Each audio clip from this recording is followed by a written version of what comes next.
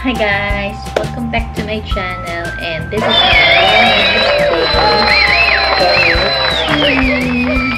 So today, ang gagawin natin is um, overnight oatmeal na super easy lang para magkaroon tayo ng healthy breakfast. Kasi nga, di ba, tinatry kong ma-achieve na from, before kasi 49 kilograms ako, ngayon 54 kilograms na. So, kumusta naman din?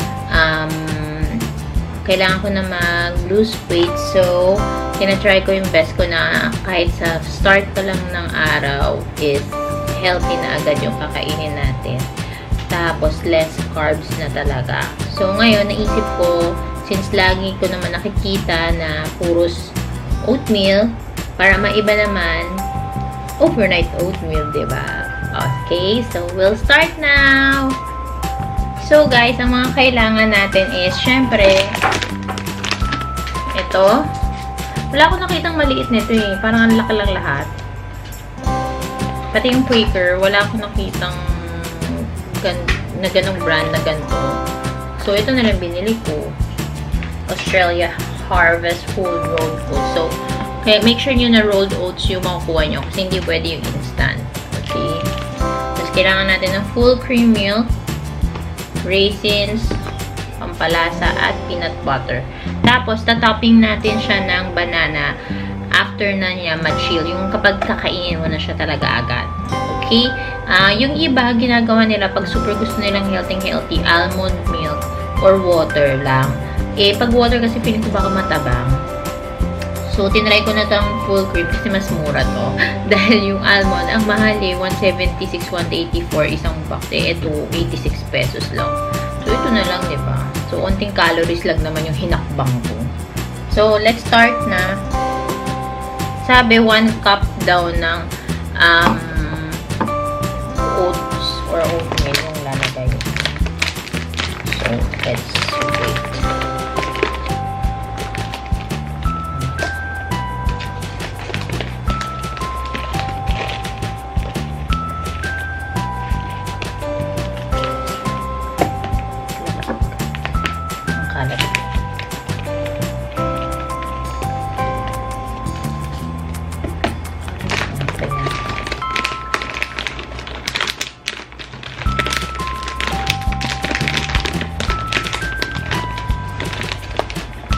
Bala ko pa kamayin eh, no? Kitang-kita sa dito.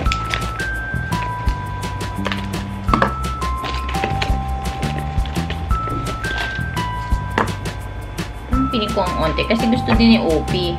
So, damihan ko na, no? Ito kasi yung lalagyan ko. Wala akong jar. Chipangers ko, no? Wala akong jar, eh. Next time na, pag successful to, tsaka ako bibili ng jar.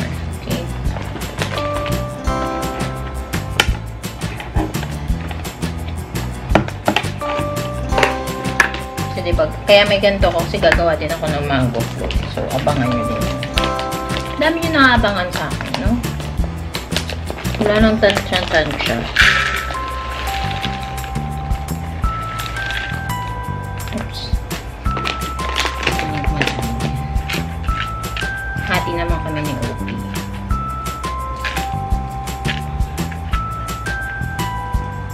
So, ganyan yung itsura nyo, guys.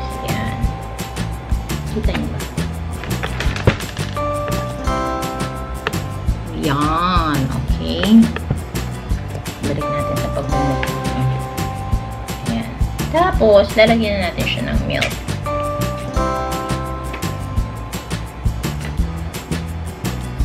Busan natin. Kasi kailangan niya mababad.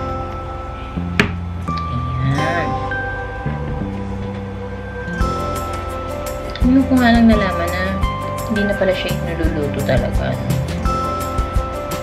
Next time, bibili ako ng chia seeds. Para mas social. Kasi diba yung mga artista, mga artista kasi mahilig sa ano, mga chia chia. Wait lang guys ah. Okay.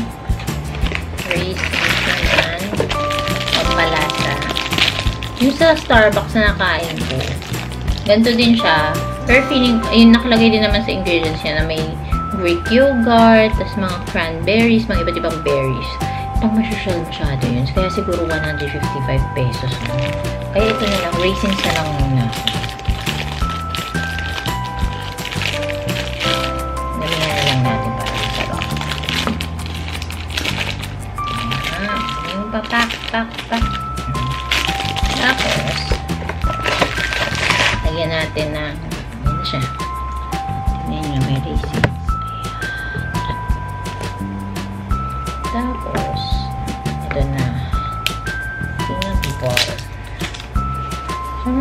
Successful siya, no? Kasi gusto ko katulad niya.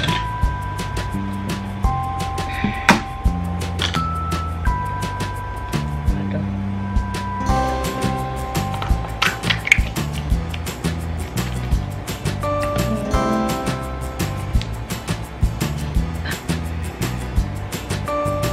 Dagan na lang natin pag parang pagbukas na agad.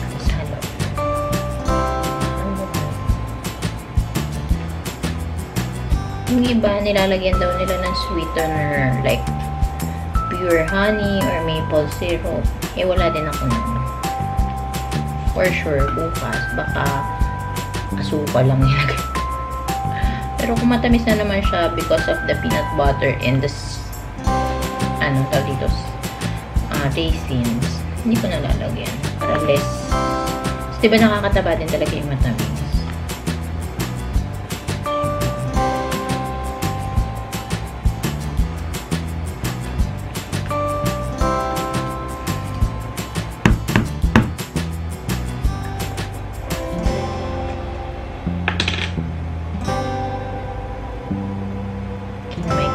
hindi naman kakain.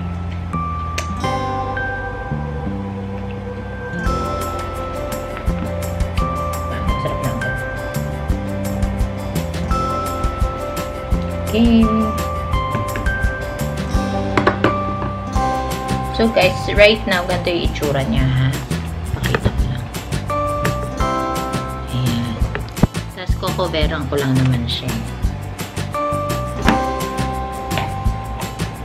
Dapat as much as possible, babad yung um, yung liquid nyo babad sa oats. Kasi sisip-sipin ng oats yung liquid na yun eh. Which is yung milk or yung almond milk or yung water na milk.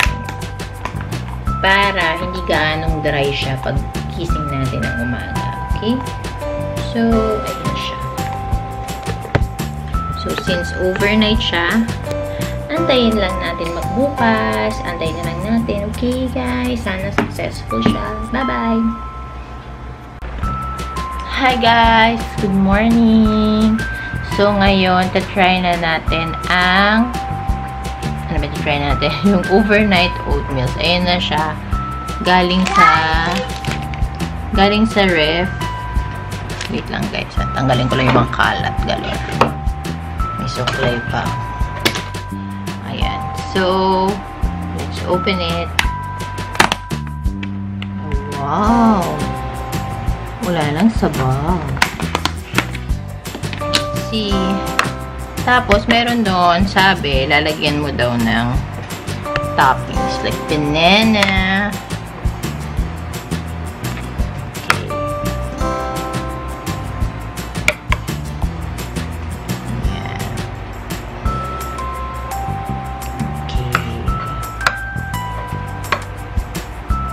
Daddy, paabot nga nung ano, milk. Kasi parang naubos na ata yung sa lola to. Sabi naman doon, kapag sobrang tuyot daw yung ba, nahigop lahat ng sobra ng ng oatmeal. Um, okay lang daw nalagyan mo ng onting milk para magkaroon ng sabaw ulit. Okay, wait lang. Okay, so, lagyan lang natin ng onti. And then, Ah, meron akong yung pure honey dito, pampatamis. Pero titikman ko muna kung okay na yung ganyan. Okay, wait lang guys. So, yun na guys. Titikman na natin.